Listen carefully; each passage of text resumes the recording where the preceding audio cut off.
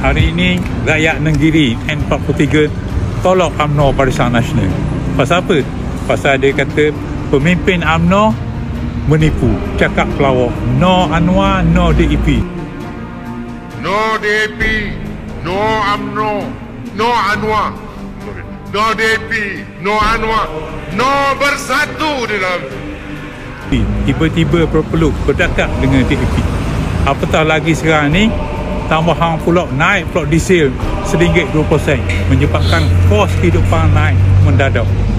Bahkan sewa-sewa kes, sewa-sewa excavator, lori-lori yang guna diesel terpaksa mereka tanggung. Jadi mereka kata ini kalilah untuk mereka tunjukkan kepada kerajaan UMNO Barisan Nasional bahawa rakyat negeri memilih sepati pulang.